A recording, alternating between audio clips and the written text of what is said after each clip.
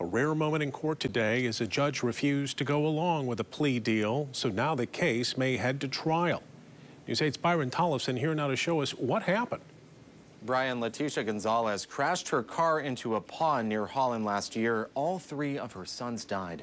Earlier this year, she took a plea deal on operating while intoxicated charges. That plea deal with the prosecutor's office meant she wouldn't receive more than a year in jail. But the judge doesn't have to abide by that deal. Here's what happened in court in Grand Haven today. You would like to say before sentence is imposed? No, I'm just willing to take my, you know, the consequences. Thank you. This plea agreement was taken under what was called a Killebrew plea. It's been memorialized in a court rule as well, which the court accepts a plea prior to reviewing the pre-sentence investigation report. So it's considered a tentative plea. After review of the pre-sentence report, the, the, court cannot and will not follow the plea agreement. Rather, the court would impose a sentence of a prison sentence of 48 months to 180 months with credit for 41 days previously served. However, the defendant does have the absolute right to withdraw the plea. Your Honor, at this point, at this time, we'd like to withdraw the plea. Plea is withdrawn.